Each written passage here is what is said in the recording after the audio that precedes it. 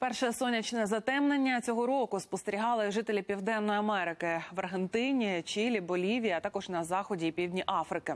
У максимальній фазі затемнення місяць закрив сонце, але довкола нього було видно яскраве кільце сонячного диска.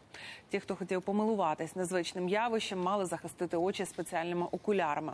А українці могли подивитись на затемнення лише завдяки онлайн-трансляції.